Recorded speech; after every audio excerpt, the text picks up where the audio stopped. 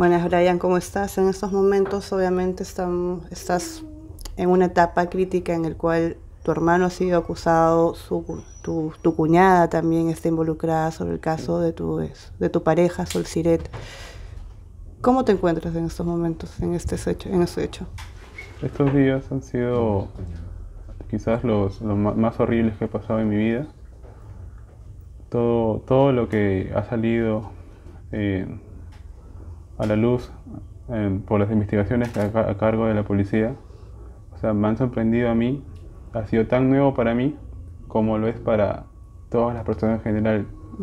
Todo lo que ha salido yo no, no estaba, no, estaba al tanto de nada, yo no, yo no sabía las cosas que habían acontecido contra la integridad de Sol, de mi pareja tú durante estos cuatro años no supiste absolutamente nada de lo que ocurrió aquel día. No, desde que yo me fui a mi casa como un día normal, como todos los días a trabajar a las 12, yo, yo no, no volví a ver a Sol, no volví a escuchar su voz.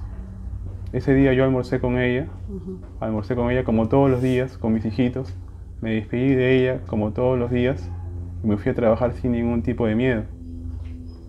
Y todo este tiempo yo nunca he escuchado la voz de Sol.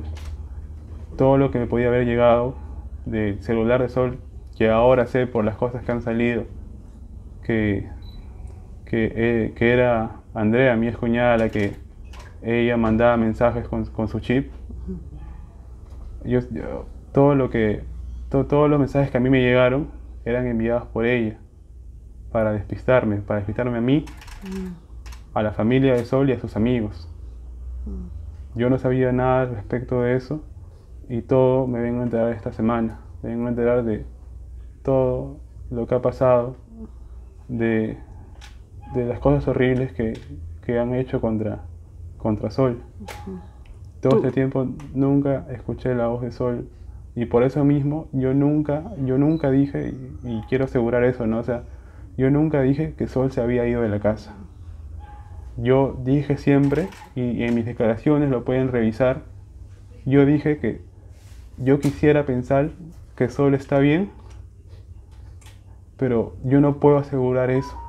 Yo quisiera pensar que está bien y que está bien. Yo, quisiera, yo hubiera querido que, ha sido así, pero ya, veo que, que, no es así. Ahora, tú, tú hiciste una denuncia de abandono de hogar no de desaparición. Eso, es lo que todo el mundo me ha criticado, pues, ¿no? ¿Qué fue lo que pasó? Ah, cuando al día siguiente que Sol desaparece, porque cuando yo voy a poner la denuncia a, la comisaría del V3, no me reciben primero mi denuncia de desaparición, que yo fui a poner denuncia de desaparición. ¿Pero por qué no? Porque no me correspondía supuestamente el lugar. O sea, me, hicieron ir a la comisaría de La Perla yo cuando fui a la comisaría de La Perla para poner mi denuncia por desaparición, los policías que estaban a cargo no me quisieron recibir la denuncia por desaparición. ¿Cuál fue la razón? Eh, es que ellos no, no, querían, o sea, ellos pensaban y estaban seguros, según ellos, de que Sol se había ido a otro lado, que, que se había con otra persona, que yo tengo que... Yo, yo estaba totalmente devastado. Yo, yo pensé que la policía estaba para ayudarme en un caso tan grave como es una desaparición. Pero los policías no quisieron aceptar mi denuncia por desaparición. Supongo que para ellos es más fácil, pues, ¿no? Poner que, que, ella solamente se fue a abandono de hogar. Claro, pero yo tampoco, yo no quise aceptar abandono de hogar. Yo quise insistir en que era una desaparición. Pero a pesar de todo, y no sé, hay, hay, gente que me critica por eso, por haber puesto esa denuncia por abandono de hogar. Pero, o sea, o sea, nadie se, se, pudo haber puesto mis zapatos en ese momento. Yo no sabía qué hacer. Y, yo supongo que la policía estaba para apoyarme. Ellos me decían que me querían ayudar y que para que en algún futuro supuesto, que, que supuestamente solo iba, iba, a volver, que quede como un precedente para que quizás no se lleve a mis hijos. Eso es todo lo que me quisieron aceptar. Es más, cuando yo estoy poniendo mi denuncia por abandono de hogar, a mí me llegan mensajes a mi celular, más o menos a la una, a la una de la tarde. Del día siguiente que había desaparecido. Sí, del pues. día siguiente que había desaparecido. ¿Y qué decía? cuando yo estoy en la comisaría, diciendo que, que, Sol quería encontrarse conmigo uh, en el, terminal? terminal de Plaza Norte, así es. Y, y, o sea, yo leía esos mensajes y no podía creer que fuera Sol. Estaba pensando que, pensaba todo, pensaba que la habían secuestrado. Tenía ese miedo. Yo le pedí ayuda a los policías para que me acompañen, para que me, porque estaba en peligro la integridad de Sol. Eso es lo que pensaba por mi cabeza. O yo también estaba en peligro, no me quisieron acompañar. ¿Tú nunca creíste sobre el tema de que se había ido con otro hombre, que se había escapado, que estaba... Nunca, nunca, nunca pensaste eso en tu cabeza. No, y es básicamente porque yo estoy seguro, y siempre lo he dicho, en todas las declaraciones, si Sol se hubiera ido por su cuenta, ella me hubiera dicho. Porque, o sea, mucha gente piensa que, no sé, soy indolente acerca de lo, que, lo que le pasa a Sol, de todo lo acontecido, pero eso no es verdad. Sol era mi compañera, Sol era mi familia, Sol era, Sol era mi vida. ¿Qué pasó ese día? Ese día que tú almorzaste con Sol, te despediste como todos los días y en horas de la tarde tu mamá te llama diciendo de que Sol había desaparecido y había dejado a tus niños. Sí, antes quisiera que, algo que yo creo que, que, tengo que denunciar, ¿no? O sea, e, es cuando, cuando, en el momento que los policías no me quieren ayudar, no me quieren acompañar, una no estoy muy seguro eh, si es una policía o una abogada que trabajaba ahí, su recomendación para saber qué había pasado con Sol es que haga ayahuasca. ¿Qué? Que haga ayahuasca. Me dijo que haga eso, que haciendo ayahuasca voy a saber dónde está Sol. Esa fue su recomendación. ¿En serio te recomendaron eso? ¿Por qué no lo denunciaste en su momento? Ya, cuando yo, yo pongo la denuncia de abandono, que es todo lo que me dejaron, yo, yo voy al terminal con mi hermano. Voy con mi, voy con mi hermano, mi hermano menor, mi hermano, hermano Franco. Él me acompaña y es más o menos a las 3 que yo llegué al terminal, que estuve desde 3 hasta las 8 y me llegaban mensajes de mi celular, supuestamente de eso, el que ahora yo sé que Andrea ha manipulado. Yo sé que Andrea ha manipulado, que, que me, me, dicen que le, que le espera ahí, que, que se va a ir a Huaraz y yo estuve... ¿Cuántos mensajes te llegaron del celular de Sol? Todo, todo lo he declarado, todo lo he declarado. También están los mensajes, qué es lo que he dicho, los mensajes que yo recibí, todo está... ¿Esos mensajes cuánto tiempo llegaron? ¿El mismo día eh, o interdiario o...? El primer día, el día que desaparece Sol, a mí solamente me llegan dos mensajes. me, me, llegan un, mensajes como que si hago memoria más o menos, o sea, eso lo he declarado, lo pueden revisar. Claro, claro. Es como que, es que me quiero ir me, quiero, me quiero ir, algo así, adiós. Y nada más, ni un mensaje más, ninguna llamada. Yo llamaba, mandaba mensajes y, no, no recibía respuesta. Yo nunca escuchaba la voz de Sol después del día que yo me despedí de ella. ¿Tú no habías discutido con ella? ¿Todo estaba normal? No, para nada, para nada. es un día, era un día como cualquiera en el que yo como con, con con mi pareja, con, con, con, mis hijitos, y me despido de ella como todos los días. Y por eso yo, yo, no, yo siempre dije eso, yo no, yo no podía aceptar que Sol se haya ido sin antes haberme dicho, sin decirme porque ella era mi compañera, era mi pareja. Yo no pude aceptar eso nunca. Y por eso yo nunca, nunca he dicho que Sol se ha ido. Yo siempre dije que yo quisiera pensar, para mí sería el mejor escenario es que, que se hubiera ido y que estuviera bien. Yo siempre quise pensar eso. Y hasta, y hasta el, el, el día en que Andrea confesó que ella la asesinó, yo tenía todavía la esperanza de algún día poder volver a ver a Sol, de que, de que mis hijitos algún día podían poder abrazar a su madre. Pero ya veo que, que no es así. había sobre un tema que los padres ah, denunciaban de que de alguna manera, como tú contabas, había sido indiferente en la búsqueda de Sol, que de alguna manera sobre el tema de abandono. ¿Qué le responderías a ellos? Yo con los señores, yo sé que ellos han dicho varias cosas al respecto, ¿no? varias cosas sobre mí, sobre mi actuar. Me han señalado muchas veces como sospechosos, como sospechoso. Y sobre eso también quiero recalcar, ¿no? Hay mucha gente que dice que yo no, yo, yo no he estado investigado, por ejemplo, ¿no? Esa es, es, mentira. Yo desde el primer día que, que, que, Sol desaparece y que, y que yo hablando con el Señor, mm. o sea, porque yo hablé con el Señor, siempre le dije todo al Señor, mm. siempre fui sincero con el Señor yo, yo, yo hablando con el Señor, eh, Él me dice que no me preocupe, o sea, que solamente pude poner una, no me quisieron aceptar una, una denuncia por desaparición, que solamente pude poner una denuncia por abandono. Y me dijo, no te preocupes, hijo, porque mi relación con el Señor era muy buena. Semana después de la desaparición también era una relación muy buena. Pero él me dijo, no te preocupes, hijo, yo voy a poner la denuncia por desaparición. Tú concéntrate en cuidar a tus hijos. Y esa ha sido, para mí, mm, ha sido mi consigna desde, desde, que, desde que Sol no está, es proteger a mis hijos, cuidar a mis hijos de todo esto. Y yo sé que los señores han, han dicho tontería y media sobre mí. Yo sé que han dicho cosas horribles sobre mí, pero yo he soportado, yo he callado todo este tiempo para proteger a mis hijos. Y si me pregunta... Pero una, una pregunta que de alguna otra manera, en estos momentos tus hijos están con los abuelos. Sí.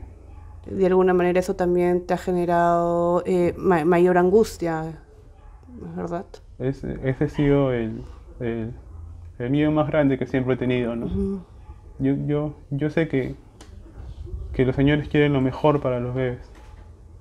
Yo, yo, yo sé también que por las declaraciones que dan y por presión mediática no se han seguido los pasos correctos en la evaluación de un lugar idóneo para mis hijos.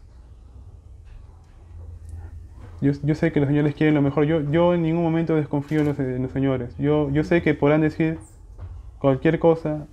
Yo aguanto todo. Porque un, día yo, hablando con los señores, ellos me dijeron que ellos tienen que hacer todo lo posible para que su hija aparezca. Yo aguanté todo, todo este tiempo he callado, no he declarado a nadie. Ellos se dijeron que no declararas para que puedan buscar a, a Sol. No, ellos me dijeron que me concentre uh -huh. en cuidar a los niños, uh -huh. ¿ya? Y, y, yo he creído conveniente, por consejo de mi abogado siempre, que no salga a declarar. Uh -huh. Pero ahora me parece, para mí, que ha sido una injusticia lo que se ha hecho acá. Me, me, han separado de mis hijos, provisionalmente sí. Pues tengo el derecho de, de verlos siempre, es mi derecho de padre, nadie me lo puede quitar. Pero yo siento que el proceso de evaluación no ha sido el correcto. Y yo le dije a los señores, ustedes están por presión mediática acá. La ministra dijo que ella iba a entregar mis hijos a los señores. Y eso ha sido por presión mediática. Los señores, a una evaluación que pudo, pudo haber tomado más de una semana, no, no, no les faltó más de, no sé, dos días, todo presuroso, ¿para qué? Para que se logre el cometido de la ministra. Claro. Me han separado de mis hijos provisionalmente, puedo verlos, uh -huh. pero yo estoy seguro que no hay persona más idónea que yo para cuidar a mis hijos como lo he hecho todo este tiempo. Lo he protegido de todo mal, de uh -huh. todas las habladurías al respecto, de todo lo que dice la prensa. Mis hijos han sido niños tranquilos, han niños, sido niños felices. Uh -huh. Cuando me evalúan las personas del Ministerio de la Mujer, en un día y medio más o menos de evaluaciones, fueron los dos días eh, fueron jueves y viernes. Uh, me tomaron muchas pruebas, me dijeron que, que, tenía que demostrarles que este es un lugar idóneo para que estén. Y, y, y, este, es, este es su casa, esta siempre ha sido su casa. Yo he sido la persona que se ha encargado de ver por mis hijos, de protegerlos. A mí me, me, me volaron dos días. Después me dijeron quién a, a valorar a los, a los señores. Uh -huh. Que yo no desconfío de los señores, porque si no, no hubiera dejado que se vayan pero el proceso no puede, una evaluación no puede ser de media hora. No puede ser que en media hora evalúen los señores y digan que todo está correcto y con engaños, porque a mí me dijeron que íbamos a hablar con los señores que, que no querían hablar conmigo, los señores. Yo entiendo que no quieran, entiendo que desconfíen de mí, pero que íbamos a hablar un tema importante, que era de cómo comunicarles a mis hijos la muerte de su madre. Y el Ministerio de la Mujer vino acá para darme su ayuda. Mm. Es lo que me dijeron, que me iban a ayudar para poder sobrellevar todo esto. Y no, no es posible que con engaños de, me, me, hayan hecho salir para decirme que vamos a hablar todos juntos para comunicarles a los bebés de la forma más idónea, más, más correcta, o para que no sufran la muerte de su madre. Y cuando voy a hablar al respecto de eso con los señores, me suben en una camioneta suben a mis hijos a la camioneta, están los señores que en ningún momento quisieron hablar conmigo, más para decirme que, que los señores me dijeron que, que todo lo que dura el proceso, o eh, lo que supuestamente yo iba a estar investigado, ah, en la posibilidad de que yo esté investigado, ah, ellos iban a quedarse con los bebés, no querían que yo los vea, pero no pueden quitarme el derecho de padre de ver a mis hijos. Yo les dije eso. Y lo del Ministerio de la Mujer hicieron todo con engaños. Me dijeron presurosamente que todo estaba bien, que el lugar de los señores en media hora de evaluación e, es el lugar más, más idóneo por ahora. Yo no hubiera dejado que mis hijos se vayan si es que yo no confiara en los señores. Como yo siempre lo he, lo he hecho, los señores siempre, siempre han visto a mis hijos, siempre. Yo nunca les he negado que miren a mis hijos, por más cosas que digan. Y ah. no me parece, no, no me parece en verdad que haya sido un proceso de vida. Ahora, Brian, el gran problema que como tú estabas comentando de que esta era la casa de tus hijos y todo, pero en esta casa ocurrieron los hechos. Ahora, la gran pregunta que todo el mundo se hace es, ¿cómo pudo ocurrir un asesinato sin que nadie se diera cuenta? O sea, ¿qué es lo que tú crees que, pasó? Tú no estabas en la casa, tú me comentas que tú estabas trabajando. ¿Qué fue lo que pasó? ¿Qué crees que, fue lo que pudo haber ocurrido? Yo no, o sea, yo no puedo decir exactamente qué es lo que pasó, porque yo, no estuve aquí, ¿no? Claro. Yo todo este tiempo ah, no, estaba seguro de, de, qué es lo que había pasado, ¿no? Y mucho menos iba a dudar de mi, cuñada Andrea o de mi hermano. No iba a dudar de ellos, de, sus testimonios, porque son personas en las que yo confío. Ya, pero ahora con todo lo que ha salido, eh, yo, estoy, yo estoy más que seguro, y eso lo pueden ver con las audiencias que han salido al respecto de Andrea, que Andrea asesinó a Sol por odio, que no ha sido un accidente como ella dice, ella lo ha hecho por odio. Y, y, peor aún, que, que, Andrea me, me, hizo creer a mí, me hizo, le hizo creer a los padres de Sol y a sus amigos de que ella se había ido. Eso todo Andrea lo ha confesado. ¿Tú crees que ella manipuló muchas pruebas de alguna manera, de, de manera fría, y después de tanto tiempo seguir negándolo? Sí, sí, es, más, o sea, o sea, Andrea eh, era mi cuñada, pero con, eh, eh, también era mi amiga. O sea, ella ha visto todo lo que ha pasado en mi familia, todo lo que ha dicho la prensa, todo el dolor que yo he pasado, que mis hijos han pasado, ella lo ha visto. Ella ha visto, me ha visto sufrir, me ha visto a mis hijos tener la necesidad de su madre y ella ha callado. Ella ha callado, ella, ella todo lo tenía planeado, todo lo tenía planeado. ¿Tú alguna vez sospechaste de ella? ¿Alguna vez te cruzó en la mente y dijo, dijiste de repente? No, ¿cómo, voy a dudar de una persona que, que o sea, era querida por toda mi familia? Andrea entraba a mi casa como, como, si, como, si fuera suya, ¿no? En ningún momento de, en ningún momento de ahora, pero ahora veo que, que no fue así. Que no fue así. ¿Qué fue lo que pasó entre Sol y tu hermano? Según lo que comentan los padres, tu hermano la acosaba. Sí. Eh, ¿Esto es verdad? ¿Tú sabías de esto? Eh, este es un, un, tema complejo que, si me permiten, puedo quizás explayar un poco, ¿no? Que es algo que, que, bueno, que los señores saben que es verdad. Los señores acusan a mi hermano de haber acosado a Sol. Pero eso, es, eso, eso no es así. Eso no es así. Lo que ha pasado y, y y por declaraciones, por mis, las declaraciones que yo he dado acerca de qué es lo que pasaba entre mi hermano y Sol, ah, ellos han tenido una relación a mis espaldas. Ellos tenían una relación a mis espaldas, la cual yo perdoné. Yo perdoné tanto a Sol como a mi hermano porque yo pensaba que eso era lo mejor para mi familia. Y los, señores saben, saben que no es verdad que acá acosaban a Sol. eso yo no hubiera permitido algo así. Yo no había permitido que alguien hiciera algo mal a Sol. Yo nunca había permitido algo así. ¿Ustedes pasaron por un tratamiento eh, psicológico, los dos, una terapia de pareja? Sí, sí, así es. O sea, el, más o menos, si me haces recordar, si recuerdo más o menos cómo pasaron las cosas, o sea, Sol, Sol uh, un día llegó a, a, mi casa y bueno, en ese tiempo Sol, Sol no estaba bien, ¿no? En esos tiempos Sol estaba por un proceso depresivo, ¿no?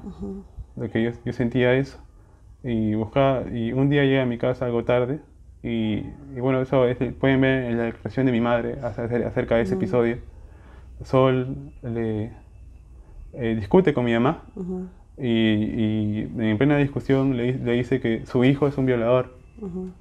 Con esas palabras. Por tu hermano. Por mi hermano. Por mi hermano dice eso. Yo le escuché. ¿Ya? Y yo fui a hablar, yo hablé con Sol. Yo hablé con Sol. Y que me diga cómo, cómo es que era posible. No, no podía creer que algo sea así. No, no, o sea, y si fue así, ¿por qué no me lo dijo antes a mí? Claro. ¿Por qué no me lo había dicho antes? Y dije que Sol que me diga toda la verdad al respecto. Que si era necesario denunciar a mi hermano, lo íbamos a hacer. ¿Tú estabas dispuesto a llevar a tu hermano a la comisaría, a denunciarlo penalmente, lo que sea? Porque obviamente estabas indignado. Yo en todo momento, en todos los problemas que he tenido, que haya podido tener en mi relación con Sol, yo siempre, siempre, siempre he estado al lado de Sol. Eso los señores lo saben. Y por eso los señores me tenían estima. Yo en todo momento he estado con Sol. Es por eso que ante esta acusación que hizo Sol, uh -huh. uh, yo le dije que si era necesario denunciar a mi hermano por lo que he hecho, lo íbamos a hacer, pero quiero que me diga toda la verdad. ¿Y por qué no me lo dijo antes? Hablé con ella el mismo día que pasó todo eso y, y ella me confesó a mí que ella tuvo relaciones sexuales con consentimiento. Solamente eso me dijo. Yo al día siguiente hablo con mi hermano y le digo que me pide que me diga toda la verdad al respecto. Y me dice que, él me dice que, que ellos han tenido una relación sentimental a mis espaldas. Y, es por eso que, que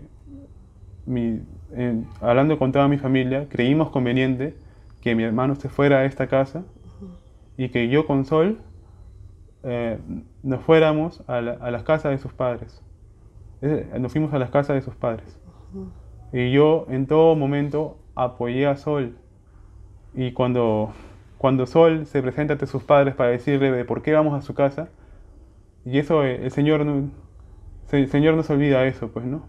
a, pesar de que, a pesar de que saben que no es así, el Señor no se olvida que su hija le dijo que, que mi hermano la había violado. Eso... O sea, Sol le dijo a su papá, él, el hermano de Brian me violó. Sí. Y con esa palabra, con ese tema, fue a la casa a vivir. Sí, fuimos para allá. Uh -huh. Y, o sea, Sol estaba, estaba mal, uh. ¿ya? Y es por, por recomendación de, de, la, de la... ¿La terapeuta? Claro, la, la madre de Sol ah, okay, okay. nos lleva con un terapeuta, que uh -huh. era un terapeuta de familia, para tocar este tema, ¿no? Y después de más o menos 10 sesiones, y la señora lo sabe, uh -huh. la señora sabe lo que dijo Sol.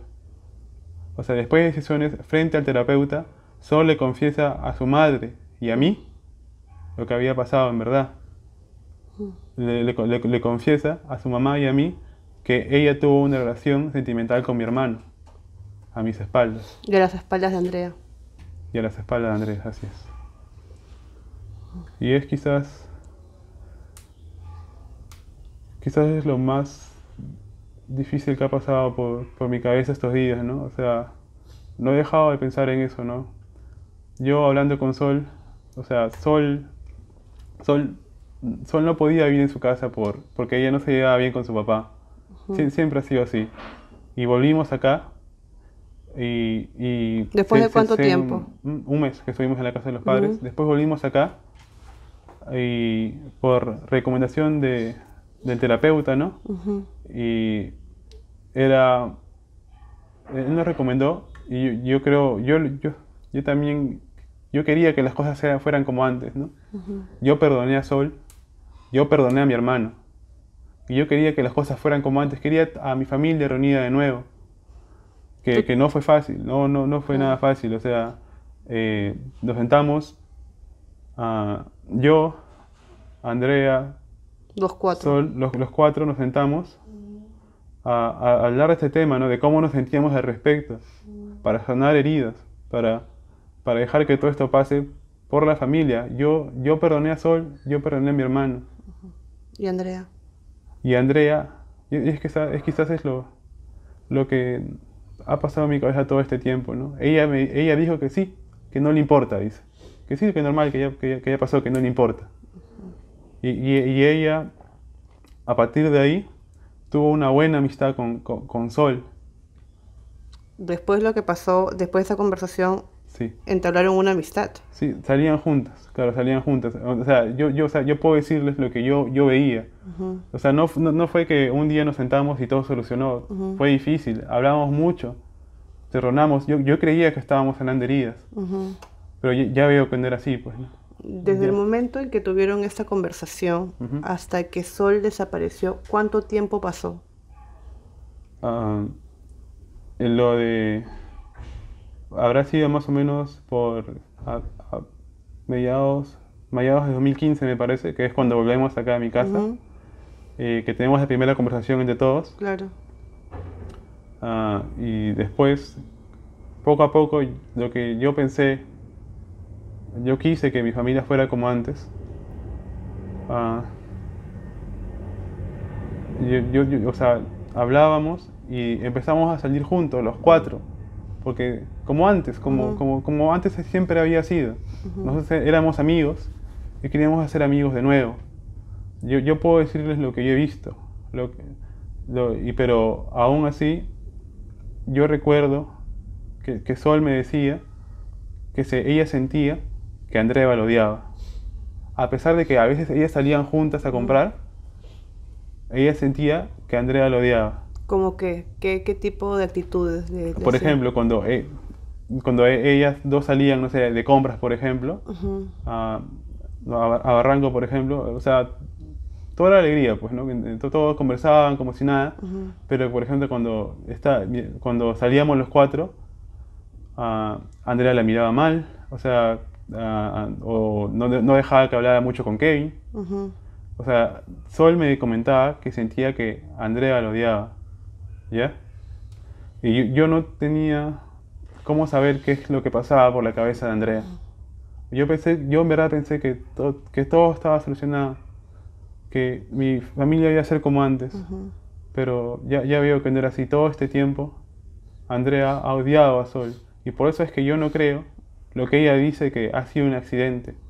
Yo sé que eh, esto, esta cosa tan horrible que han hecho con Sol, ha sido por odio. Y yo, o sea, yo, yo en verdad, yo, yo quisiera, yo, yo quisiera confiar en mi hermano, en verdad. ¿Qué piensas sobre, él, sobre, sobre su participación? ¿Tú lo crees capaz? Él, él- él es- él es mi hermano, yo, yo, yo he crecido con él, yo, yo, yo amo a mi hermano. Yo amo a mi hermano. Yo, yo no creo, yo no creo posible para nada que, que, que él sabiendo de que le pasó algo a Sol, de que, de, de de que Andrea, de que Andrea haya asesinado de esa forma Sol, eh, él no me haya contado. No tendría por qué, no, ten- no tendría por qué, porque por, por la libertad de Andrea, encubrir algo tan horrible como eso, no tendría por qué hacerlo. Yo, yo, yo quisiera, yo, yo, yo en verdad quisiera creer en mi hermano, pero tengo esta duda en mi corazón, tengo esta duda. Y a veces me duele porque yo amo, amo a mi hermano, pero si él, si resulta que, que él tuvo algo que ver en esto tan horrible que le han hecho a Sol, él tiene que pagar, como, que tiene, como tienen que pagar todas las personas que le hicieron esto tan horrible a Sol, que le han asesinado y que han engañado, me han engañado a mí, a la familia de Sol. Todas las personas responsables deben pagar por eso, porque nadie se merece eso. Porque yo no me merezco todo el sufrimiento que he pasado, todo lo que he tenido que aguantar por mis hijos, porque mis hijos no se merecen que le hayan arrebatado así a su madre. Porque nadie se merece algo así. Brian, ¿tú crees que Andrea haya tenido cómplices? Mm, No, no, no tendría cómo, cómo asegurar eso, ¿no? Yo creo que es algo que la justicia va a tener que, que, que, que demostrar, que, que- que todo salga a la luz, ¿no?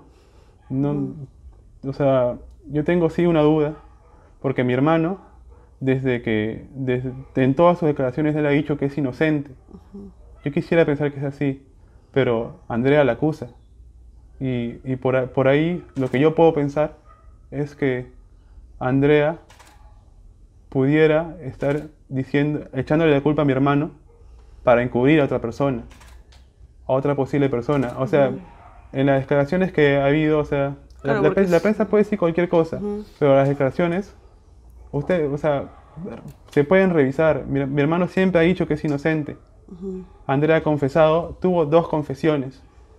Primero, su, primera confesión fue que, que en, una pelea, eh, se, como por accidente, eh, Sol, se que, Sol se resbaló y por accidente eh, se, puso nerviosa y la descuartizó. Esa fue su primera declaración. Y después, en la segunda declaración,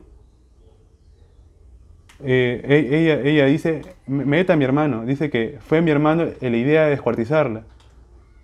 Y, o sea, ¿Tú no lo crees capaz de, tan solo poner esa opción en, en eso, en, lo cometido con Sol?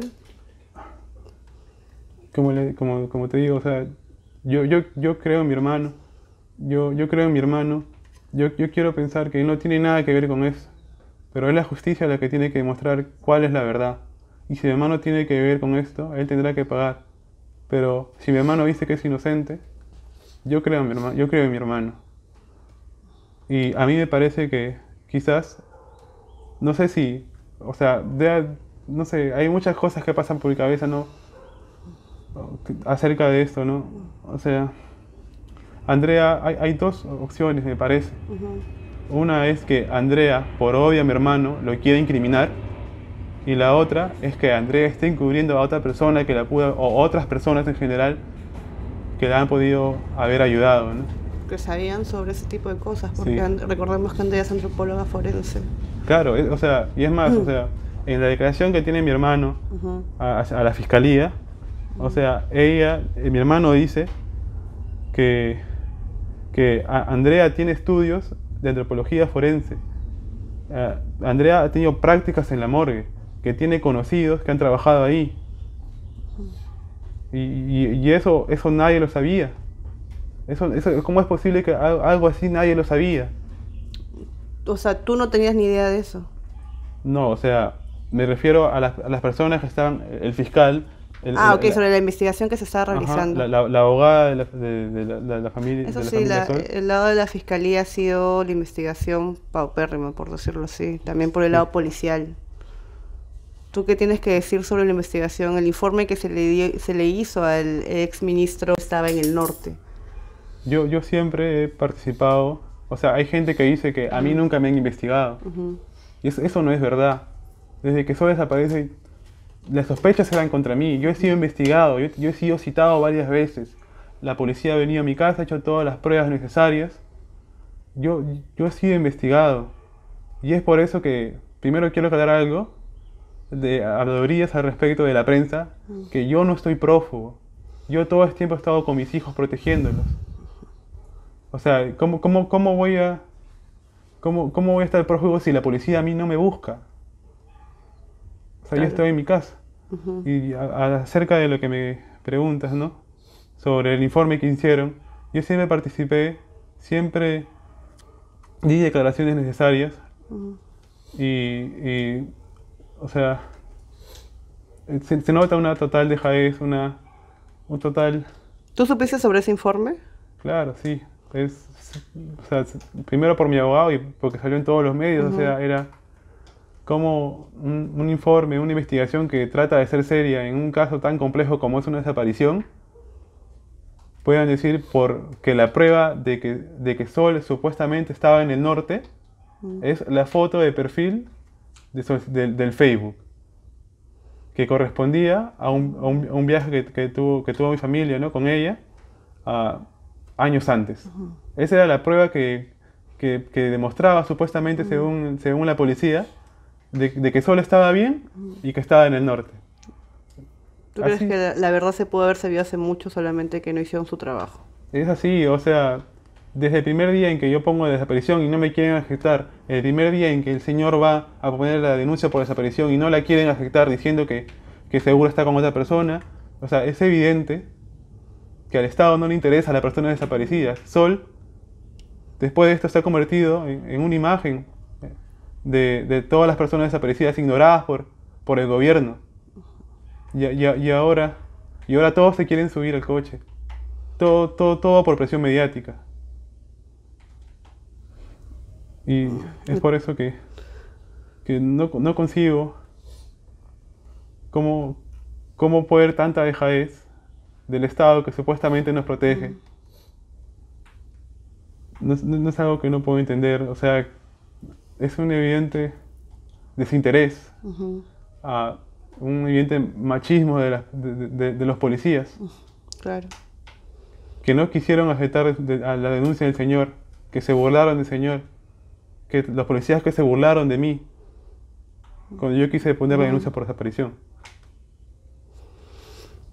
Una cosa que todo el mundo se consulta y, y se ha escuchado bastante en las redes sociales es si Andrea eh, pertenecía a algún colectivo feminista o se concebirá feminista. ¿Sabes sobre eh, si es verdad esto? Si pertenecía a algún colectivo. Ah, yo, yo, sé que ah, me parece que Andrea, ah, me parece que Andrea pertenecía a la CCI, ¿no? mire qué, o sea, qué tal paradoja, ¿no? O sea, Andrea perteneciendo a un, colectivo que se encarga de, de, de, ver, de, reclamar por las personas desaparecidas en el gobierno de Fujimori, termine, termine siendo algo tan atroz. Yo, yo no, no puedo asegurar que, que, Andrea ha estado en, en, un colectivo feminista. Yo, yo sé que Andrea tiene pensamiento feminista, pero, mm. pero no puedo asegurar que haya estado en colectivo. Y además, tampoco creo que de, hacer, de haber sido así, o sea, ah, esto sirva por como un tipo de, de no sé, de, desacreditar al movimiento en general, ¿no? Eso no me parece. Claro. Una lucha que, que Solcider tenía también como organizadora, como una de las organizadoras de la primera marcha Ni Una Menos. Eso es verdad. Claro, claro, Sol, Sol era feminista, ¿no? y y claro, o sea, yo, yo siento que, yo, yo, siento que yo, yo crecí con Sol, crecí como persona, nuestra relación creció y, y, siempre, siempre yo, yo, siento que nosotros pensábamos igual y, es así como siempre hemos, hemos querido criar a nuestros hijos. Y, es así como yo, lo, como yo lo estoy haciendo hasta ahora. ¿Cómo recuerdas a Sol? Sol Sol era la, madre más amorosa, la compañera más aguerrida. Era, era, el amor de mi vida, era mi compañera, mi compañera de vida. Era mi compañera. Y es por eso que yo no entiendo cómo hay, hay gente que puede imaginar que yo tuviera algo que ver con todo esto. Yo ni siquiera estoy siendo investigado por esto y hay gente que me señala como si yo tuviera que ver. Y no es así. Yo, yo sería incapaz de haber hecho algo tan atroz como lo que, como lo que ha salido en esta semana. Sol era mi compañera y eso lo saben sus padres, lo sabe todo el mundo que una vez conoció a Sol, que le podía haber preguntado qué tipo de relación teníamos. Sol era mi compañera, yo era su compañero. Eso era así. Bueno, finalmente lo, lo, que más te preocupa de todo este asunto, obviamente, aparte del dolor de eh, enterarte que tu amiga, que era Andrea, y tu hermano posiblemente pueda estar involucrado en este caso, es la separación de tus hijos. Eh, las palabras que quieras brindar sobre este hecho. Y sobre todo a los padres también de, de que, ¿qué les dirías?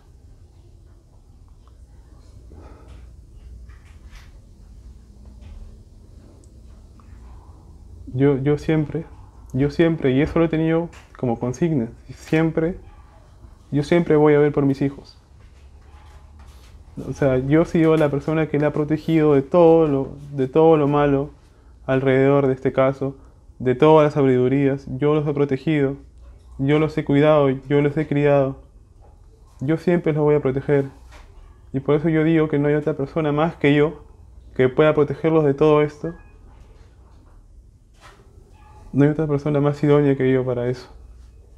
Y a los padres de Sol, entiendo que desconfíen de mí, entiendo que desconfíen de mi familia. O sea, yo, yo, yo, eh, yo o sea, tengo esta duda de desconfiar en mi hermano, pero que entiendan que, que yo también estoy sufriendo por todo esto. O sea, que, que está haciendo una terrible injusticia contra mí y que lo que yo quisiera más que nada, porque yo nunca dejé que, que o sea, yo, yo siempre permití que los señores miren a los niños, porque son sus abuelos. O sea, qué cosa mejor que, que, que, volver a como era antes, ¿no? O sea, yo sé que, yo sé que desconfían de mí, pero de, de, debe haber una forma que por mis hijos estemos unidos. Debe haber una forma de que todo vuelva a ser como era antes, ¿no? Yo, yo sé, por más que los señores hablen cosas de mí, yo confío en los señores y por eso es que yo he permitido que, que ahora los tengan. Yo, yo pude haberme negado, pude haberme negado, pero yo he seguido,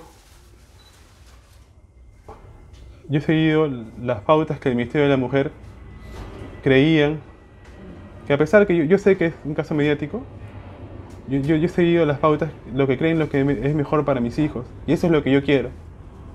Yo siempre voy a ver y a proteger a mis hijos. ¿Cómo se encuentran tus niños ahora? ¿El mayor, la, la, la, el mayor sabe lo que ha ocurrido? No, no, no, he podido hablar con los señores. No he podido hablar con los señores al respecto. Yo, lo, lo último que supe por el Ministerio de la Mujer es que es, en este caso íbamos a comunicarle de la muerte de, de, su madre a mis hijos. Y yo en verdad, yo, yo, yo quería estar ahí. Yo quería estar con mis hijos. Y, me han quitado eso. Me han quitado algo que debía ser un derecho como padre. De hablarle a mis hijos sobre la muerte de su madre. No sé cómo estarán mis hijos ahorita. Yo, yo voy a hacer todo lo posible para que mis hijos estén bien. Yo, no, yo nunca voy a abandonar a mis hijos. Nunca. Yo siempre voy a estar con ellos.